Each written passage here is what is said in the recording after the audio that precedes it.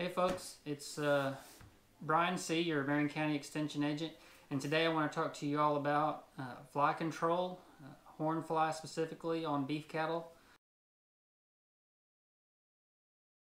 And uh, fly season is coming up, and so it's something that we all need to be thinking about and planning for. And basically, uh, what we want to look for is uh, flies to be reaching a threshold of 150 to 200 and those will uh, those numbers will be accumulated on the uh, back and sides and and flanks of the of the beef cattle. And so uh, I'm going to include a picture of uh, or drawing of those different numbers to kind of give you an idea. And we'll also we'll also reference a fact sheet that you can look at that helps you to estimate the number of flies on the cattle.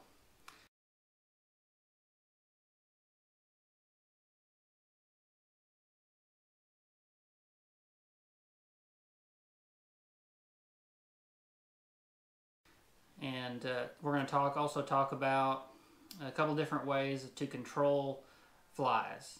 So basically we have uh, probably the first and most effective method is applying insecticide by hand to the cattle. And this can be done pretty easily if your cattle are gentle. It's something that you can get them acclimated to. If you have a large large herd, then this can be a little more difficult to handle or to actually do. But if you can apply uh, insecticide uh, according to the label um, uh, to the livestock as needed, um, then that is probably one of the most effective ways to do it. Now you can do it with a high pressure, uh, wa- you know, uh, like a washer, pressure washer uh, that isn't, you know, with the insecticide being mixed in with the water.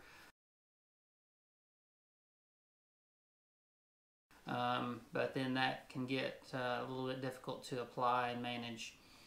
Um, but basically what you want to do is wait until the uh, livestock go, the, the fly numbers get to 150 or 200, uh, that threshold, and then treat.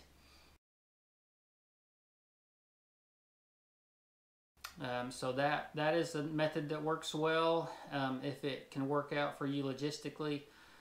Uh, probably the second uh, best option that uh, that you can look into is the um, ear tags that are impregnated with the insecticide. And uh, what you want to do again is wait until the flies, uh, the fly numbers build up to about 150 to 200, and then you uh, put the ear tag in the uh, the animal's ears. Um, and uh, you can read the directions on whether you use one or two and, and the pros and cons to that. Uh, but what you want to do is, you know, periodically keep an eye on them uh, and, you know, do a fly count. And once the numbers start to build up again to threshold, then you'll want to uh, get the cattle up and remove those ear tags. In general, you'll get, you know, about three months uh, of control out of the ear tags. Um, and to back up for just a minute on the spray, um, you know, kind of like I said, you follow the label instructions and don't apply more than it says. Um, but you know, generally you're looking at uh, you know weekly uh, to every two weeks application on that, and you know rainfall and uh, rain events and things like that can can affect that as well.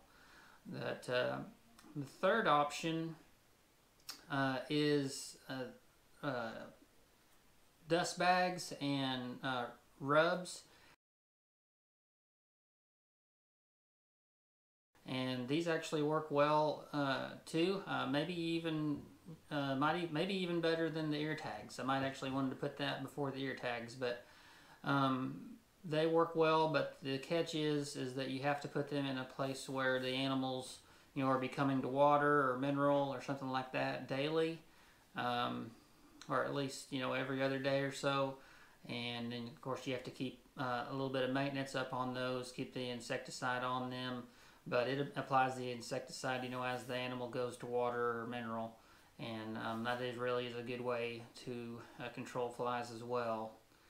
Um, another option is the uh, IGR minerals, or um, you can put an additive in to um, uh, feed or something like that. And they also make a bolus actually that you can put in, and you'll get oh I think it's 150 excuse me days excuse me uh, something like that for of control on uh, for flies with the bolus.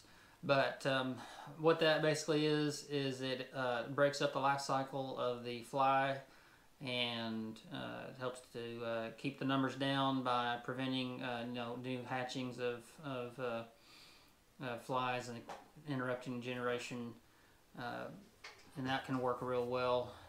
But where you run into problems is if you have a fence line between you and a neighbor, and you're controlling your flies with this product, but they are not, then you can have flies that are coming from your neighbors onto yours and so you kind of have to work together um, to control to get that uh, to work well. But if you can get that worked out, or if you have isolated herd, then you know we've seen good uh, results with the IGR mineral and products. So that's something to consider as well. If you're going to do the mineral, uh, that is something that you do not wait until you get to threshold. You actually would start to feed it now before uh, the fly season really gets rolling. And because you want to kind of head them off and uh, go ahead and get that uh, that product in the uh, fed and in the in the mix of things.